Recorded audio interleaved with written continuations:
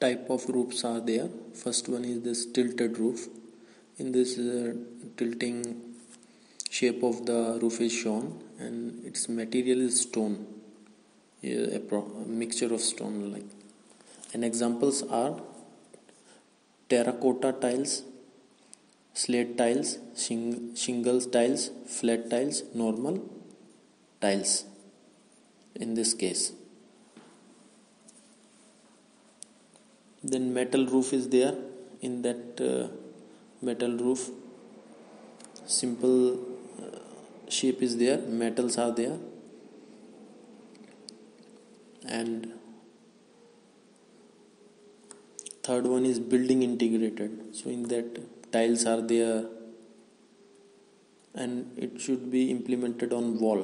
So for example for this examples are wall roof with curved surface roof.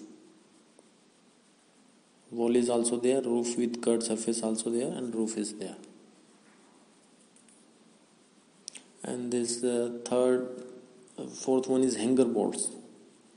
Hanger bolts in this hanger is there with the nut and screw is the uh, nut is there nut and bolt is there. So in hanger uh, for example uh, sheet metal roofs are there and sheet metal roofs uh, alf alphalt shingles roofs are there. And m10 and m12 uh, is used bolt is used in this. The next one is this uh, non uh, penetrating roof mount systems. Clamp mount systems are there. You see this is a clamp here. Clamp mount systems and for for example this clamp mount system clip lock roof is there. M8 m8 uh, clamp uh, m8 bolt is used in this clip clip lock roof. M8 bolt is used. The next one is ballast mount systems. Ballast mount systems are installed on the roof side.